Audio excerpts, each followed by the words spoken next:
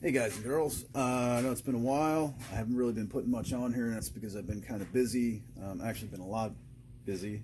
So, um, thought I would just uh, you know keep you updated and uh, show you the latest uh, small project I'm working on. Uh, I actually got this guy uh, a couple days ago, and this is a an M1 Garand uh, bayonet, pretty old, pretty old. Uh, this is not a Korean War era, as far as I know. Um, it's got some schmutz on the handle there. Looks like it was burned on. Uh, also, the blade has a little bit of uh, rusting and, and, junk on it. Uh, it's not sharp by any means, uh, which is probably good for me. Uh, but what I thought I'd do is try to bring this back to life at least a little bit. Now, I know that restoring these things tends to take away from their value. Uh, but this is, for me, it's just something that I'm keeping in my collection to go with my Garand.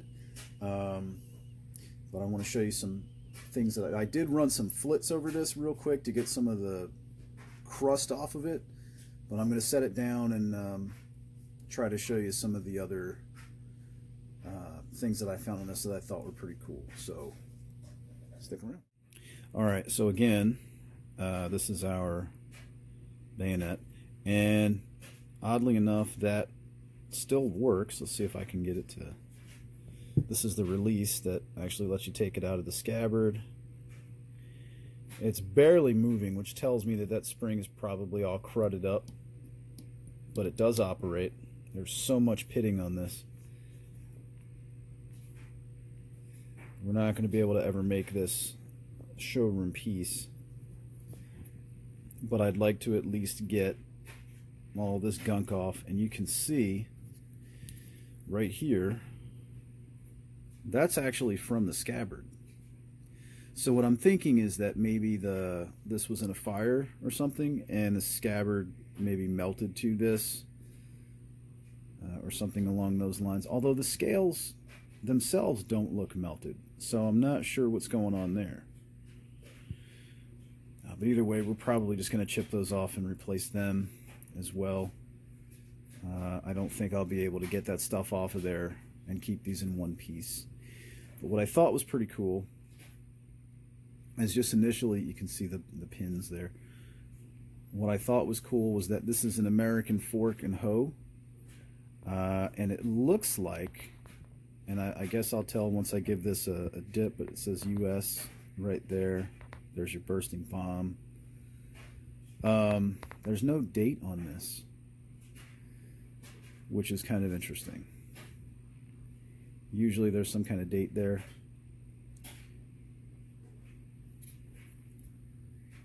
So what I'm going to do is try to get these grips off. Um, I've sprayed this down with WD-40 and that doesn't look like it wants to doesn't look like it wants to give. So see what we can see. But I what I'm going to do is give this a vinegar bath um, for a couple days and see what I can raise. Um, I do have some Evapo-Rust that I may use as well. So first things first, we're going to try and get these off and strip it down. I'll pull that spring out, the little arm and that button. Um, that's pretty much all there is to this. These are these are pretty simple inside. So wish me luck. I'll try to get this off and hopefully I'll be able to keep you guys updated um, as I go. So thanks for watching. And uh, I don't know if there'll be a part two or, or if I'll just continue this, but either way, uh, see you guys in a while. Bye. All right, so I was able to just run a screwdriver right along here, and that actually popped up this whatever this is. I have no idea. Um, but it allowed me to get to the back of that pin. So I'm going to take some WD-40.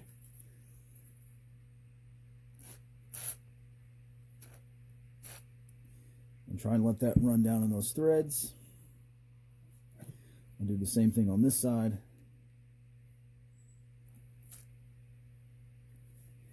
And while we're at it, I'll try to get some on the inside there.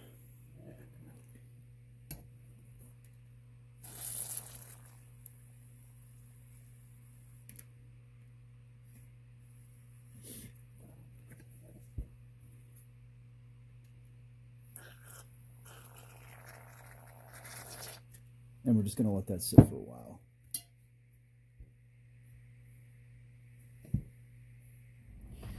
All right, so we let this soak for a while, and I was able to basically get this whole thing impregnated with uh, WD-40. I even put some rust buster on there, uh, and it's just not coming out. I was trying to save these scales. As you can see, I got a lot of whatever that stuff was off of there. Uh, the issue, though, I turned it over, so you got some of that crap off, you can see this scale is actually broken right here. I don't know if the camera's picking it up. So it's not looking good. And I think what's going to happen now at this point is I'm just going to um, chalk this side up because there's no way there's there you go there's no way I'm gonna be able to fix that I don't think. Uh, so what I may do is just go ahead and drill this out from the back just enough to get off of those threads uh, and then pull this off as one piece and then just have to replace this set right here. I do have another set of scales that I can use. I was just trying to save these if I could but it looks like that's where we're going to be with that. Um, again there's no year of manufacture on here that I can see that F is really faint in the middle. But you can see the US and the bursting bomb there. Usually there's a date on the back, but I don't see one. And it could be that it's all crustified, and I'm not seeing it, or maybe there isn't one. Um, and if anybody can help me out here with a date or how to date this, uh, I'd be greatly appreciated. Uh, it looks like you know one of those those cut down ones. I mean, I could be wrong, but who knows? Would that make it a 1905? I don't know. So if anybody knows, let me know.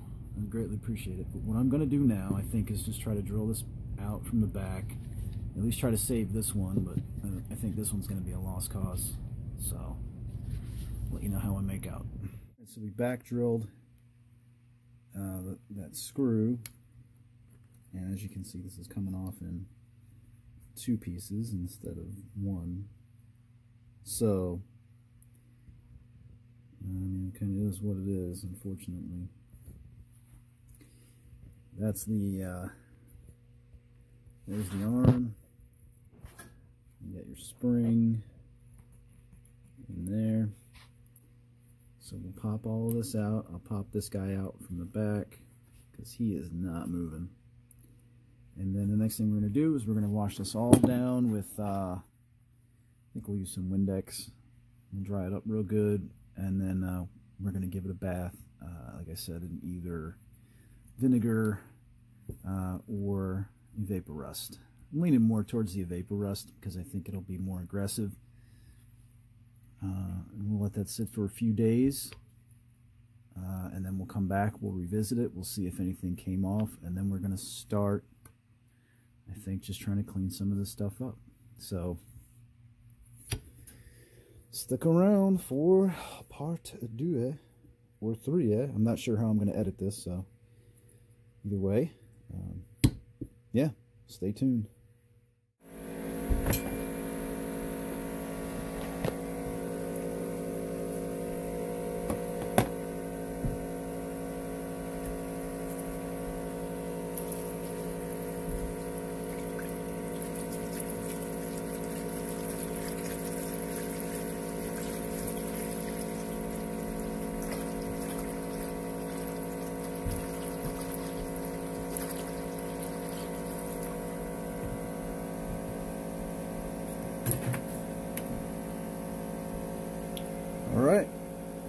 See what happens. So we have been soaking our bayonet in vapor rust. Uh, we did soak it in vinegar for about two, three hours. That did seem to at least start to break things free. This, uh, as you can see, has been getting pretty dirty. But a lot of that rust is, in fact, lifting off. Now, I did take a brass brush to this earlier after it came out of the vinegar. And I washed a lot off. This stuff is getting real viscous. Um, it actually pours like water right out of the bottle. So it's getting a little thicker. Uh, and that may be because of the particles that are being left behind. But as you can see, the stuff is just bleh.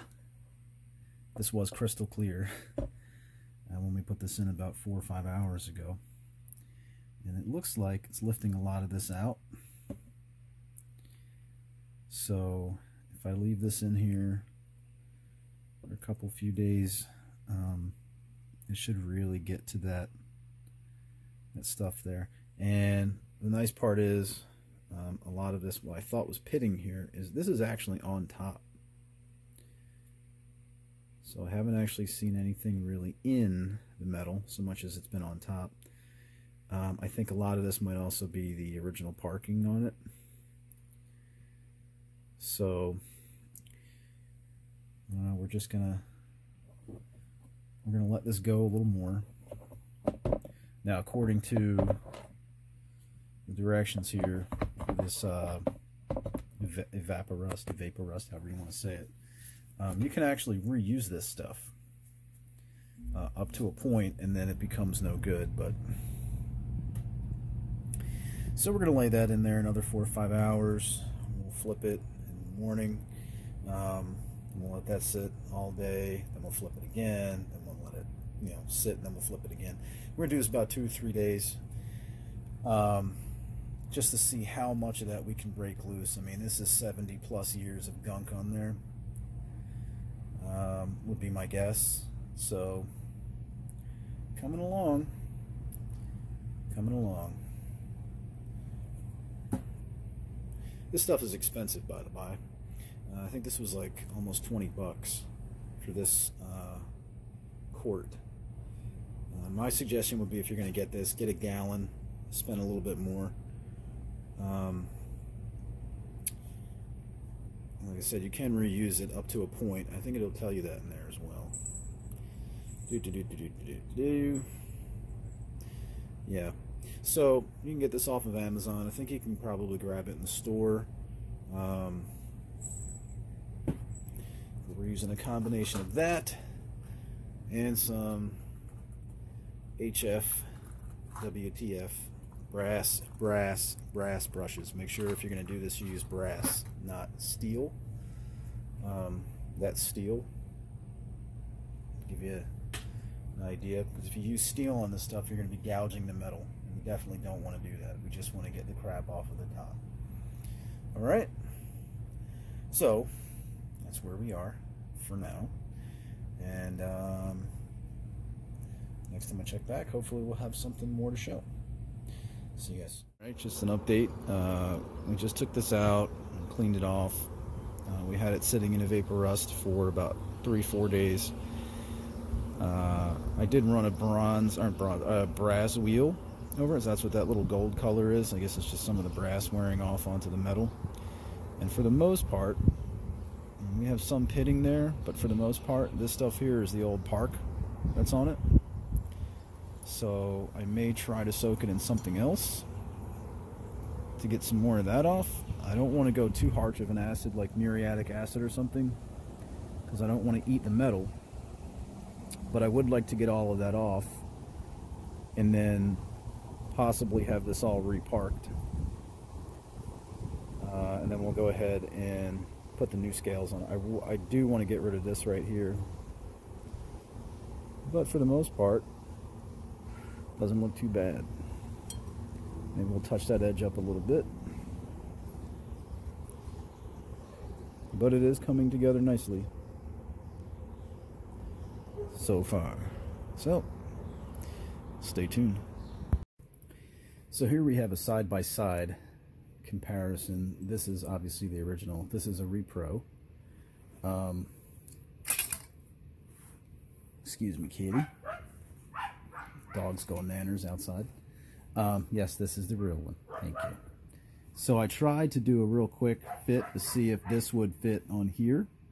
Um, there's just ever so slight variation uh, between the two that this one I think sits a little further down and because of that it pushes the through screw um, down and also there's a shoulder on this screw where there isn't one on this one um, and so this is a really tight fit in here but it's just ever so so slow. So like this actually sits a little bit I guess further down than this one does and it pushes that that scale down and it just looks really wonky. So I'll just wait until the other uh, set of scales are here and we'll go ahead and put it on.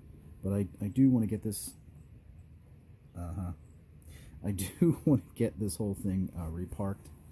Uh, so what we're going to do is just put it in uh, some cotton uh, and we'll stick it up in the, in the, closet there to keep everything safe and all the bits and pieces uh, together. I don't have the through screw uh, for this anymore. Um, it did come out with the uh, scales. it was so frozen together. So part of the reason that I have to replace that I apologize for the doggo in the background. Uh, but this is the Repro.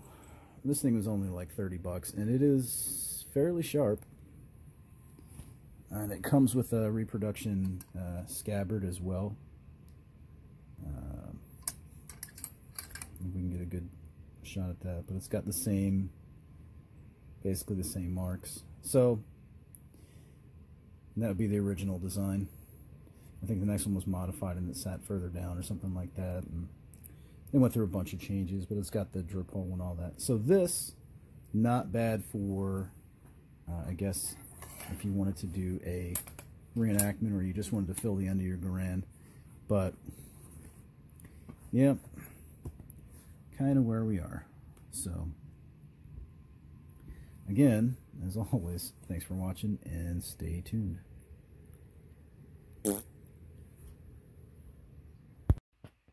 Alright guys, so just a quick follow-up here. Um, this is the American Fork and Hoe. Uh, we went ahead and threw our other scales on it. I also switched out the action bar. I found that the uh, release was a little bit thicker uh, on the original, and so these scales wouldn't uh, work with that very well. So uh, I just switched it out for a different action bar. I call it an action bar, but it's, it's the release. So let's see if we can Ah, without cutting myself here. You can see that functions perfectly now. Uh, if you remember, this thing was covered in poo-poo caca. Uh, we've cleaned it off uh, considerably well. There's still a little bit of brass from the uh, bristles. Uh, but as far as pitting and stuff like that, um, I think all of this is just old park, which is nice. There is some and I don't know if I can pick up on this. There is some right about here. Unfortunately, can't do much about that. But overall, I think it uh, cleaned up rather well. And so the next step is um, just going to probably have it reparked. Again, uh, this is not for resale or anything like that. This is for my collection. Um, I have a few other bayonets as well. I think this one could benefit from being touched up a little bit. Um, and I typically wouldn't park it, except that that pitting is bothering me a little bit, and I don't want that to suffer anymore. So I think parking is probably the best way to go with that.